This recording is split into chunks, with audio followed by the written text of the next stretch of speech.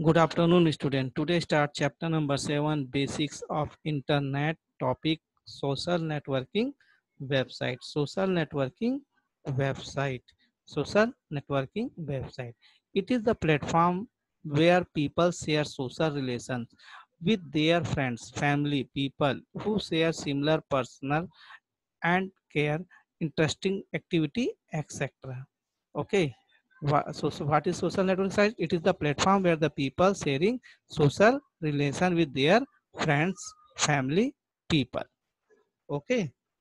Next your activity page number 125 find out the 10 social networking website.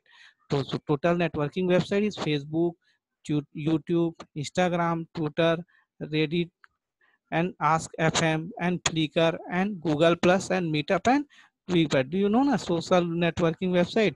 Okay. Clear? Next. Features of social networking site. Features of social networking site. It will help us to be in touch with our family, friends, and colleagues. Next point, you can also share our experience. Clear? You can also share our experience.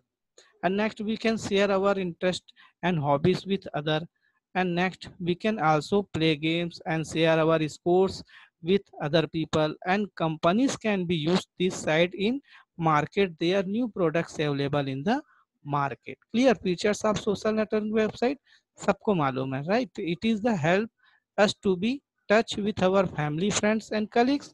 And to we can also share our experience and we can share our interest and hobbies with other and we can also play games and share our scores with other people. And companies can be use this site to market their new product available in the market and latest new social networking site see video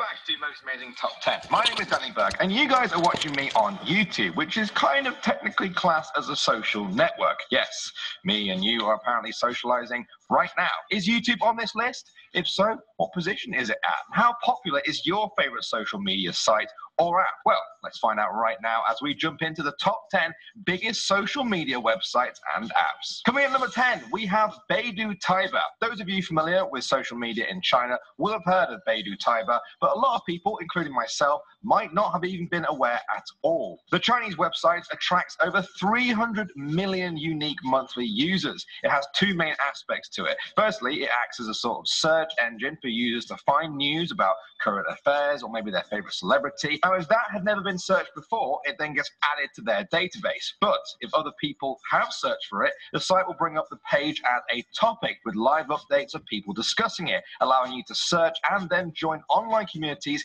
in an instant. The site was founded in 2004 and the company's slogan is born for your interest pretty catchy. I like that one. Moving on to number nine, we have Twitter. Now, when Twitter was founded in March 2006, even the developers of it didn't really expect its explosive growth. 313 million people visit it every single month to tweet out their thoughts in 140 characters or less, or retweet other people's tweets, or search for hashtags to see what people are saying about a certain topic. Now, it's this thing, the hashtags, that helped launch it from just another social media site to the fastest, most effective way of sharing thoughts in real time to people. This has led the makers of Twitter to define it as more of an information network rather than a social network. Now, in 2013, a record was actually set in Japan during the TV screening of the movie Castle in the Sky, where there were 143,000 tweets a second about it.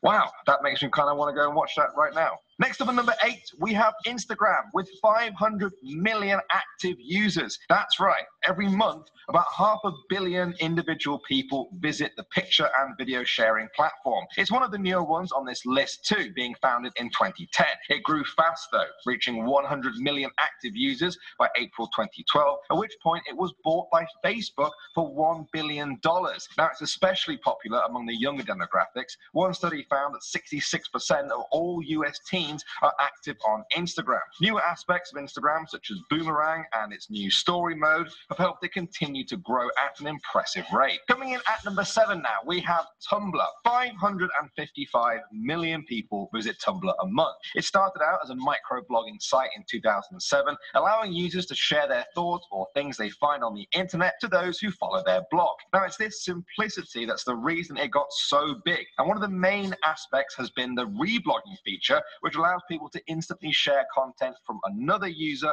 which always links back to that blog. Now, it looks very simple too. It's quite pleasing to the eye. Some of my friends say it's so easy to get the hang of, but make an account a few times and I just can't get my head around Tumblr. I don't think I'm made for blogging. Moving on to number six now, we have QZone. This is another Chinese site on our list which pulls in 652 million visitors a month. To give you guys an idea of how big that number is, it's about twice the population of the US. Now, it's quite appropriate that it follows Tumblr on our countdown because it's kind of like the Chinese equivalent to it. You can blog, you can share music, pictures, and videos just like many other blog sites, but one way it differs from most Western sites is that QZone actually costs money if you want to access everything. Users can pay monthly for a VIP service called Canary Yellow Diamond, which lets them customize their page and have background music as well as a whole bunch of other features. Would you guys pay monthly for social media? Like every time you log into Facebook, you have to pay?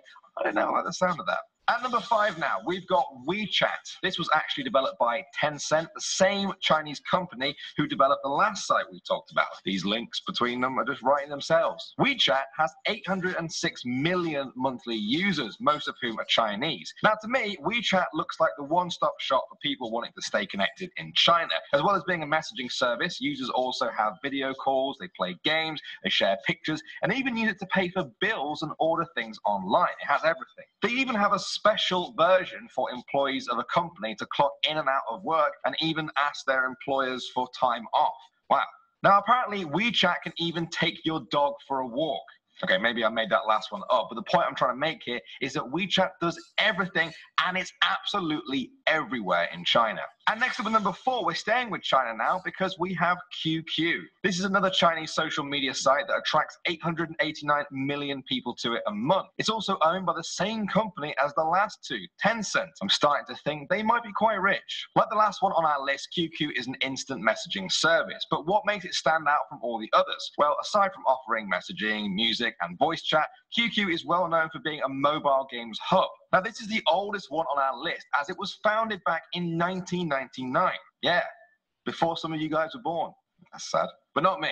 Yeah. In the beginning, it was basically just a pretty poor copy of AOL's instant messaging service, but over the years, their features brought in millions of new users. QQ actually holds the Guinness World Record for the highest number of simultaneous online users. On July 3rd, 2014, over 210 million people were using that site at the same time. That meant that about 3% of the whole planet was logged into that site. That's mental. Coming in at number three now, we have a more recognizable app to a lot of you guys Facebook Messenger. One billion people use this thing a month. For many years, Facebook had a built in Messenger service, but that all changed when they released Messenger. It came out in 2011, and by 2014, Facebook users had to download the Messenger app if they wanted to keep chatting on Facebook in the same way as before. Now, some people expectedly weren't really happy with this, but Facebook did have their reasons. They said their old messaging service was just too clunky and slow to get to, and that any app can only do one job really well. So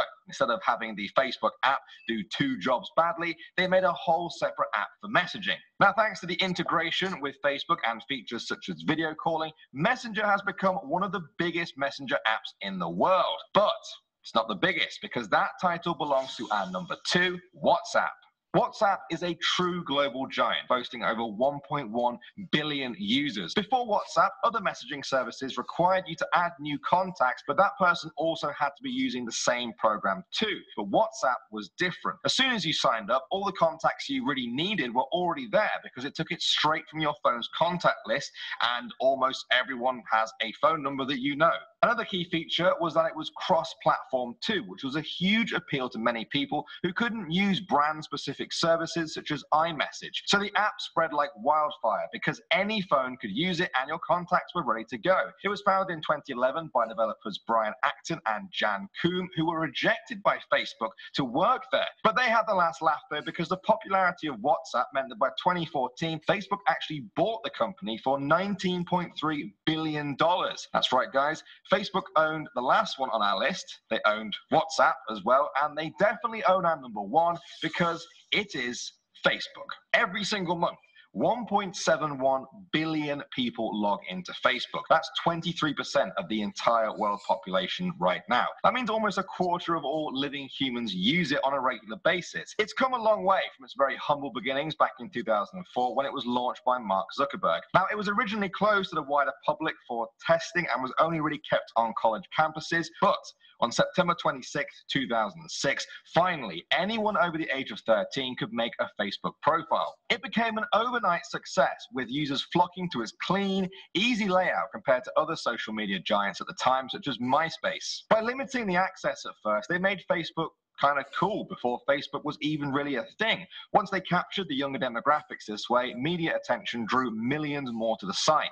Facebook soon became a way for friends and family to stay connected and easily see what their loved ones were doing in their lives. The people seemed to love it, and with such high user interaction, the companies and the sponsors loved it too. Facebook simply wiped out all other competitors as it became the one stop shop to stay in touch with everyone you know. Now, for some people over the years, it has become a little bit too much for them, and they sometimes see Facebook as a bit too intrusive or overbearing in their lives. But as long as there are no competitors to stop it, Facebook Facebook is still steamrolling ahead and its growth continues to outpace everyone. I've honestly considered deleting my Facebook a few times, but then I think, what would I waste all my time on?